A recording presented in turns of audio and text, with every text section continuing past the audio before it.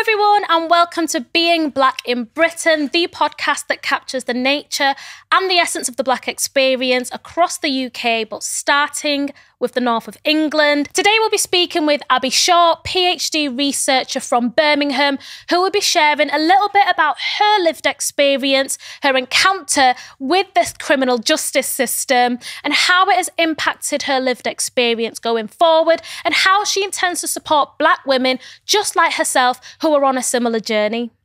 Let's go. Thank you, Abby, for coming on Being Black in Britain.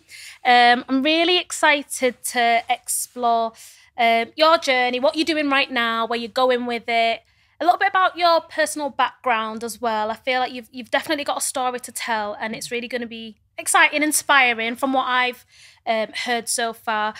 And I do believe that somebody out there is going to benefit from your journey today. So, just to get started, could you just introduce yourself? Tell me who are you, what do you do, and why do you do it? Three questions. Okay, so my name is Abigail Shaw. Mm. Uh, PhD, third year PhD student. Yeah. Snap. um, in criminology and sociology.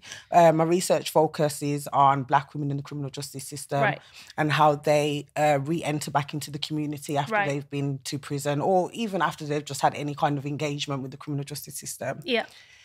The reason why I do what I'm doing um, is because of my background. Right. I can relate to the women that I'm researching. Right. We have a shared experience. Right. There's commonalities there. Yeah. Um, so I feel like I'm the best person in terms of positionality to Yeah. really um, research that particular group. Yeah.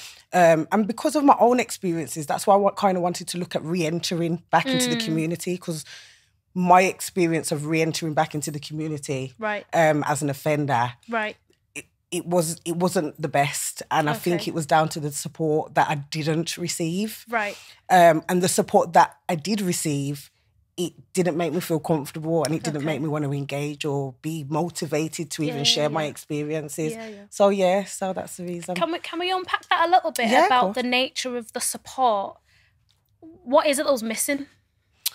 Um, cultural competency, um, culturally responsive. Um, the person that was providing the support, so the professional, Right. didn't look like me, Right. didn't relate to my experiences. I felt at times as well I was being looked down upon. Right. Um, and it didn't seem like the person was there for the care, it was just for the job. Yeah. So engagement for me just didn't continue after that. Mm. So what I want to try and hone in on is that sort of engagement, having someone who represents that Yeah. particular person, who can either, either under, understand their journey or relate in some way. Yeah. Um, and even if they don't relate or don't understand, kind of start the conversation where we can I can share my experiences with you and you're not yeah. ignorant to it. Yeah. Uh, so that's kind of what I want to try and I want to move away from that and look at more therapeutic Okay. methods Okay. um, and and talking therapies as well, and Mm. then using community as as an alternative to prison. Okay, I like that. I think what's interesting there is looking at the representation from the professional standing point. I feel like where in any profession where there's a disconnect between the staff and the service user, there's often like a, a lack of empathy, a lack of compassion, an unrelatability that almost makes the ser- renders the service ineffective. Mhm. My question is, in those services where there is no representation, how how do we establish a culture of empathy and compassion to ensure that that service is meaningful for the recipient, for someone like yourself or someone that looks like you? Like, how, how do we establish that? Do you think? I think it should start with the training. Yeah, So I think the people that are already there need Yeah. to be retrained. yeah, Um, and then the new people who want to get into some sort of support, whether that be any um, department within the criminal justice system, I feel like they need training on cultural competency, Right. competency Yeah. and how to approach um, these individuals. Mm. Uh, the thing is, they can't shy away from it because if you take it up as a job, you've got to be open to deal with individuals from all sorts of Yeah. backgrounds or walks of life. yeah. So I feel like being trained on cultural competency and understanding how the person acts, why they act the way they are, I feel like that would definitely help the transition. Mm, mm, mm. And tell me about your PhD a little bit more. What what has been your choice of research methods? Why do you think that's the most effective research method? What what does that look like at the moment? Okay, so my um, PhD hones in on lived experiences. Right. So, and another th- another thing I'm trying to do is turn those lived experiences into a podcast. Right, So an episodic podcast. So like Right. every week there'll be a new lived experience. Yeah, yeah. Um, and and new challenges will be exposed. Mm, Um, what I found through the research that I've I've been through the literature review that I've been doing is that there is no lived experiences Right. for the black women. Like there's no there's nothing out there that tells someone who's going through that journey kind of how to how to deal with a situation if it was to occur, especially within the criminal justice system. mm, Um, so that's what I want to try and hone in. I want that authentic narrative. yeah. Uh, what I've decided to do as well is choose um, black black feminism Mm. um, because clearly the feminist, uh, normal feminist, conventional feminist theories, Yeah. they don't they acknowledge women, but they don't acknowledge black women. Yeah. Um, and also critical race theory is Okay. also something that plays a part within my research as well. Only because it hones in on those inequalities that Mm. black women experience through the criminal justice system. And then it, it hones in on intersectionality as Yeah, well, which seems to be kind of like the buzzword that's going Of around course, nowadays. Yeah. And also that participation. So it's a participatory participatory action research. I can never say it all in one. it's a mouthful. yeah, I usually just say part, but for those that don't know what it means, it's Yeah. participatory action research. And what that means is that it's research by the participants for the participants and with right. them. So that way they're leading the the the structure of Mm. the research and they decide what they want to do with it. So even though I've just told you that I want to turn it into a podcast, Yeah. I am going to leave that open to, Yeah. to any creative method. So if someone wants to tell it in a spoken word or Yeah. in a poem or Yeah. Mm. use photographs, then they have that option and they have that freedom to do that. Uh, also, I want to I want to try and create a space. I want to make it a space. So I don't want to just finish my PhD and just call it that. I do want to continue further research. Mm. And I also want to create a space like alternate that looks like um a rehab a good rehabilitative space for those Mm. group of group of women. So I do want to take this and try and turn it into something that's lifelong. So it doesn't Yeah. just end with these participants. I Yeah. continually getting new participants, you, you know, from young to old, Mm. telling their experiences of the criminal justice system and then putting that out there to the youth Mm. to for them to to understand the process, but also for them to know how to act and how to manage those scenarios. Yeah, yeah, and I think that I think that that that yeah, I think that will that would help. I think Yeah, it'd be yeah. definitely beneficial. I definitely, Sorry, I, digress. definitely, no, no, no. You're, you're answering the question. I think one thing I'm seeing also there is just the power of storytelling because it's it's the untold stories yeah. that nobody knows about, no one can appreciate. No, if if you haven't lived it, you just don't know. So you're definitely bringing something new to the table. I guess my question, adding to that, is: Are you going to embed the storytelling of your own journey in the midst of that or is it mostly about telling the story of others? Are we going to get to experience your journey and how that maybe impacts your research and just the way that you're engaging with the entire body of work hopefully if I get to if I if I get to do what I want to do with my Yeah. research Yeah. in terms of creating a podcast because Yeah. that's what ultimately what I want to do. So I want to turn this research into a podcast that's kind of lifelong. yeah Um so if I do get that that opportunity, then that's kind of how I'd open it up. Yeah. Is kind of let people know who I am, yeah why we've chosen this particular podcast, why we've chosen um, data verbalization, Right. Storytelling podcast, Yeah. and kind of give some kind of clarity on Yeah, the yeah. reasons why I've decided to do my research that way and why I want to continue on that journey. of course So yeah, so I definitely will be telling my story to give it some clarity. I love it because we because we want to hear it. I'm ready. For, I'm ready for that day because there's just so much to learn from people's journeys. Yeah, yeah. Um, I guess my next question, again, going back to your PhD journey, what would you say has been a challenge along the way? And what would you say is a highlight of this journey so far? So, three years in, you've seen a bit, you know. Mm. What's been a challenge? What has been a highlight? Okay, so my my challenges have actually started from the beginning. Right. So when I actually applied for the PhD, um, because I'm I'm funded by the university, Right, my okay. research is funded by the university. So when I actually applied for the PhD, I thought it would just be straight sailing. I thought, you know, it just put in the application, Yeah. do your do your ten minute presentation, and then you get told whether you're going to be accepted or not. Right. Well, it was different for me because I've got a criminal record. Right.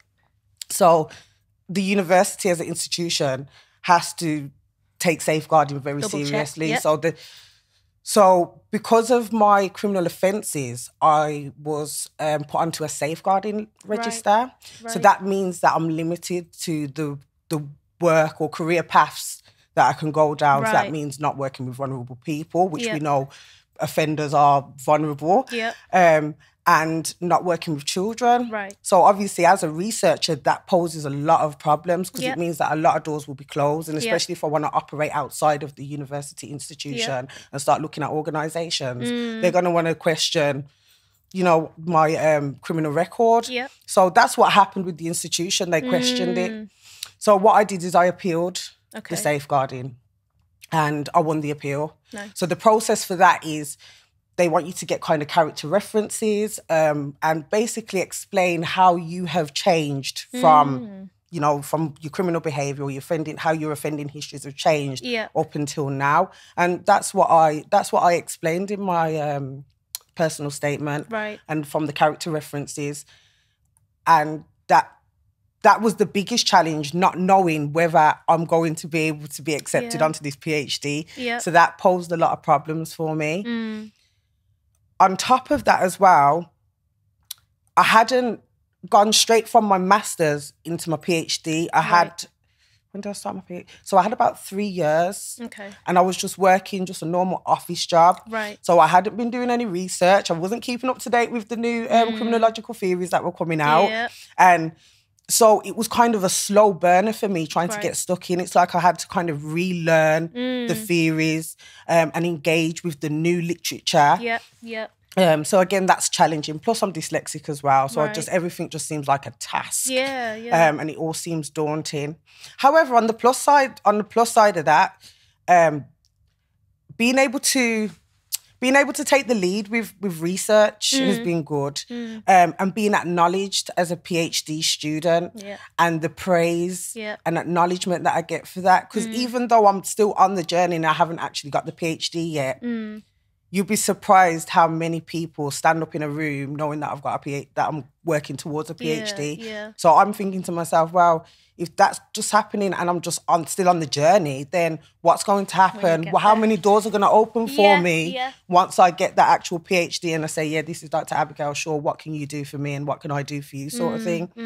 Um, and being able to collaborate Yep. being able to collaborate with people like yourself, like-minded people, Yep. and meeting new people because I I thought I'd met everyone that I needed to meet. You know, going to prison, you meet so many different people. it's unreal. Yeah. Yeah. Um. So yeah, it, it's it's been nice to kind of fit in and for my work to be acknowledged. Mm. Yeah. Because I didn't have the best time on my masters right. um, because my dissertation it didn't get the mark that I wanted it to get. Right. However, the PhD opportunity has been able has meant that I've been able to Mm. still carry on that research because my MA is the same as my PhD. Yeah. Yeah. Apart from that was secondary, and this is um, what's it primary research that I'm doing now. yeah.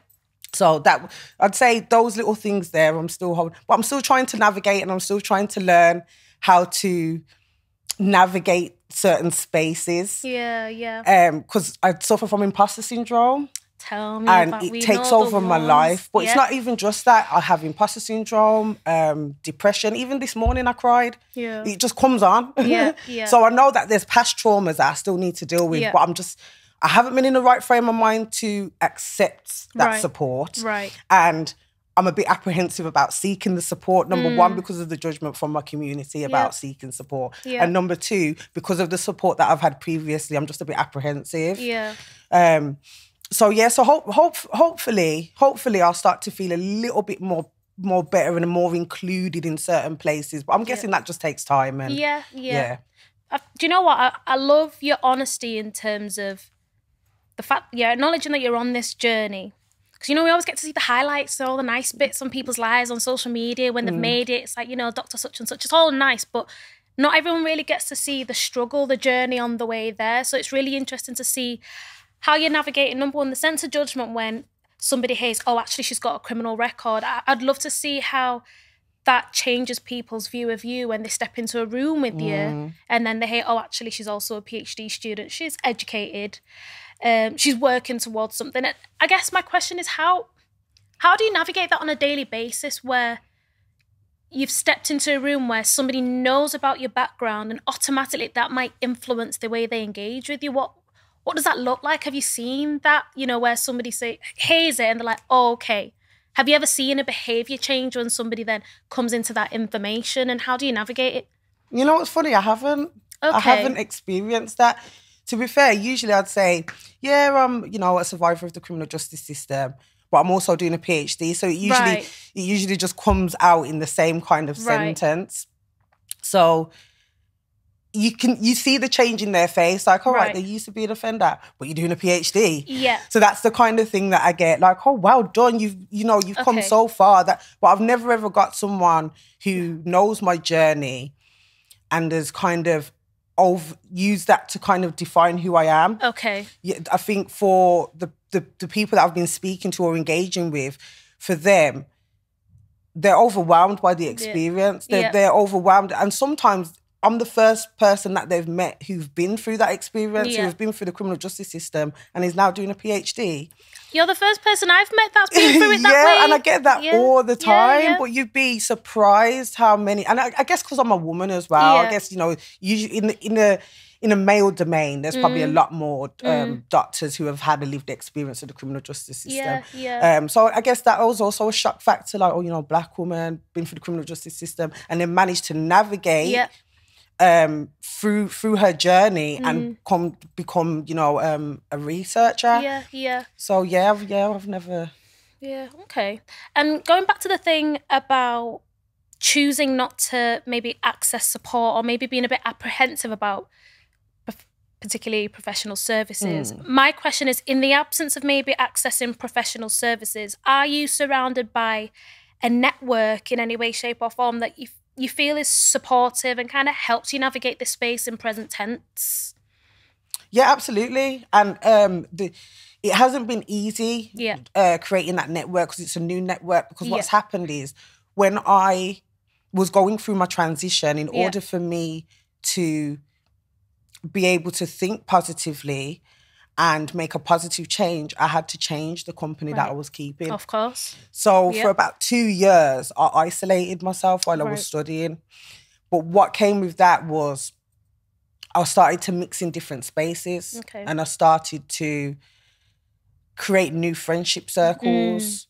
So those people that were there on the journey while I was isolating, I've kind of met them through my isolation sort Yeah. of thing. Yeah. They're the ones who now I kind of lean on. Mm. Um, there's one particular lecturer at the university who is she hasn't seen my journey from the beginning, but she's been there from when I first started my um, uni course, and she's been my champion. Right. So I, and and she looks like me. Yeah.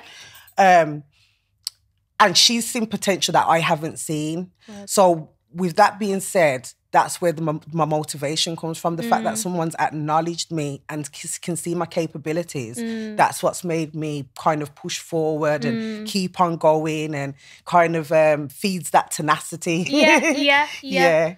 we need we need a support system, don't we? Because I I think about all the spaces I step into. Ninety nine percent of the time, nobody looks like me. No one has the same background as me. But then the times where you do meet that one person that's just a couple of years ahead of you and they look like you, it's really inspiring, isn't it? It it reminds you that yeah, yeah, like there's there's room for me in this market, you know. Absolutely. There's room but for you know me. what's changed as well? When I done my undergrad, and I wish there was more out there when I done my undergrad. Yeah. What I'm seeing now is that there's more um people are doing more focus black focus groups now. Yeah. So I'm part of a PhD group. Yeah. You know, it's for black students. Right. I'm also part of a women's group, black black Right. female group, um, empowering group. Right.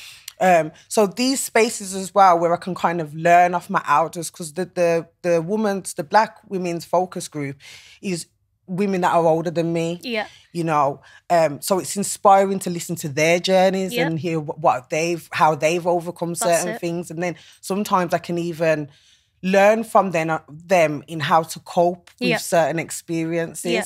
which has been great. And I wish I had that throughout my Tell my journey through university, but it's just now starting to come to the forefront. Now Yeah. people are creating podcasts more and creating these safe spaces Yeah.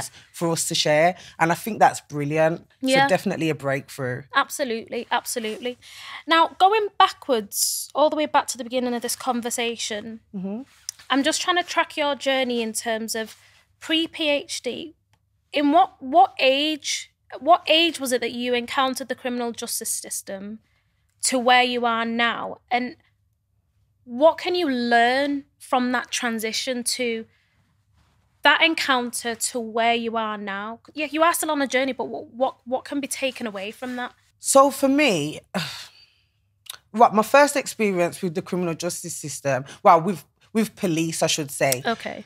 wasn't wasn't a personal one. It was from what I had seen and observed. Right. You know, um, family members going through certain situations, Yeah. and I could I'd noticed that the police weren't dealing with them properly, or Right. you know they were mistreating them or mishandling them, Right. and it was always drummed into my head as well that you don't talk to police, you don't trust police. So I had that preconception Right. But I'd never engaged with them myself, so Okay. it didn't really matter the fact that I had that preconception because it Yeah. didn't matter. You know, I've ne- I didn't engage with them anyway. Yeah. And even when I did first engage with them, when I ran about the age twelve, Mm. I didn't take it seriously because it's a new experience Yeah. to me, and nobody ever spoke to me about. You know how they do with young boys about stop and search Yeah, and things yeah. like that. How you to conduct yourself, what to wear, and um and the rest of it. Females don't kind of get that pep talk. Yeah. So you just learn from experience.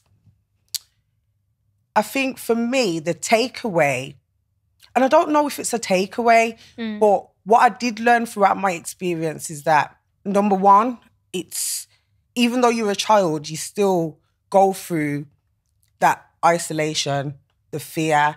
When you when you're sent down, you're you're taken away from your family straight away. There's no goodbye, I'll see you soon. Mm. Yep. It's just take them down. Mm. And then when they shut that cell door, it's the realization that this is reality Wow. for the next 12 months. So, what I would say I've taken away from it is being able to be humble in certain situations. Mm.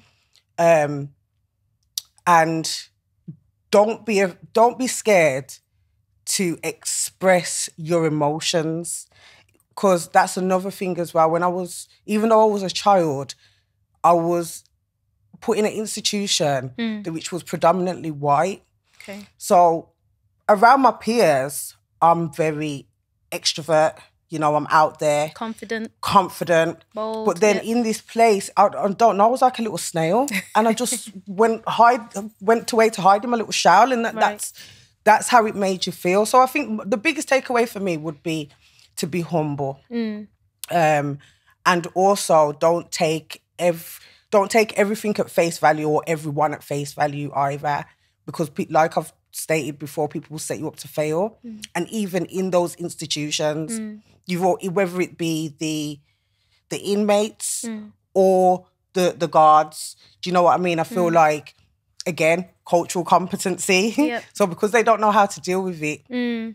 they'll treat you a certain way or judge you by your character instead Mm. of getting to know you. And it's the same with the inmates because Yeah. I, I, I suffered, you know, r- racial comments from the inmates and Yeah. stuff like that. Because, like I said, predominantly white. Yeah. So I guess I guess it gave me thick skin as well. Was something I to take ask, from how it. did it change your personality? Yeah, Like, thick skin. And you know what? While I was incarcerated, I was actually given a role of mentor. right. So I was teaching. The, we were the same age, but those that were less um, adequate Mm. Right. within English, Right. I'd teach them how to read. Wow. Yeah, and we'd have one to one sessions. And even that was kind of enlightening because I'm thinking, well, at a young age, like I'm 14 and Yeah, I'm yeah. Mm. being asked to take on this this role, this adult role. so it was it was it was nice, it was refreshing, but I was still in there. Mm. Yeah, yeah. so it was short lived. Yeah, yeah. yeah. That's really interesting, though. Uh, I'm trying to think, like, so you, so you're you're not in there with people that look like you, and the the the professional serve the professionals don't look like you. My question is, was was it obvious that you weren't treated the same as the others, or what what did it look like? How being different in the cell. with people that didn't look like you, could you see visible differences in the way that you were treated? Or would it just be these off comments here and there? You know what? At the time, I didn't see it as being treated different Okay. because even though I had experienced, you know, racism or experienced being, you know, dismissed as such, um, it didn't. Yeah, it wasn't. I didn't acknowledge. Now I do acknowledge it Okay. for what it is because I'm older now and I've, I'm Right. experienced. But as a child, you wouldn't it. acknowledge. Yeah, I would. I didn't see it. Okay. Yeah, okay. and I don't think they wouldn't have made it obvious either. Right, okay. Yeah, it would have been, you know, a comment here, a comment there, Yeah, where yeah, you can't yeah. really say anything about it. So, yeah, that that was the situation there. I want to talk about how you've grown from it though, because you've said there about developing a thick skin, but then when you went in there, you turned into a bit of a mouse. Mm. How would you describe your personality now in comparison to there? Like, how have you evolved? Like, what does thick skin look like? Because I know you said, you know, imposter syndrome comes at times, but yeah, like, how would you describe your personality and how it maybe impacts the way that you engage with the world right now? I think the metaphor of be, feeling like a snail, Yeah. that was the initial Okay. going in and, Yeah. you know, not being aware of my surroundings. It's a new space, I'm Yeah. around new people, I'm Yeah. scared. So that's what I mean by, but give it six months, I'm out there. Yeah, yeah, yeah, yeah. you know what I mean? Everyone knew who I was. Yeah. And and I, and I'm that's how I am now. Right. And now I know how to navigate spaces better. I know how to act in certain spaces. Yeah. Whereas a child I wouldn't have known. Yeah. So yeah, so that that's that's how I've been able to deal with that. Yeah, yeah. And I guess going forward, I know you've already talked about how your research is to serve those that have been through it just like yourself.